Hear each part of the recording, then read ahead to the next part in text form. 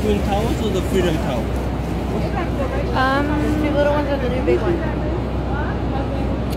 Uh, um, uh, the Freedom.